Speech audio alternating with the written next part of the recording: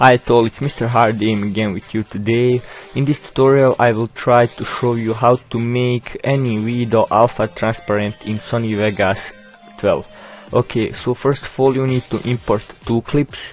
I've got this one, it's unedited raw video and I've got this from my gameplay. So I wanted this text to be transparent without this black background. All you need is to go to your clip and right click, go to properties, after that go to media and then you see here alpha channel, click on it and click pre-multiply. Click OK and that will be all. As you can see now it is transparent and here Thanks for watching, comment, rate and subscribe, it helps me a lot.